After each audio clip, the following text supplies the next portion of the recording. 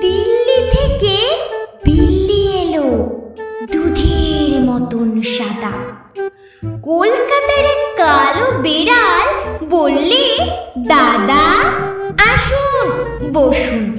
কেমন আছেন? বাড়ির খবর ভালো?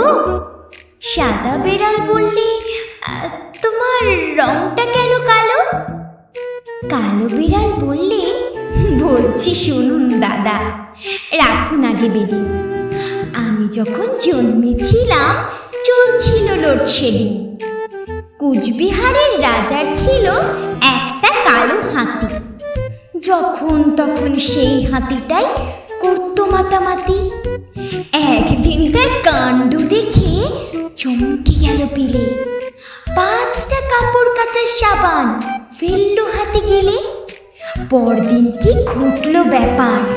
বলছি শুনুন দাদা। সাবান খেয়ে কালো হাতির? বাচ্চা হলো সাদা।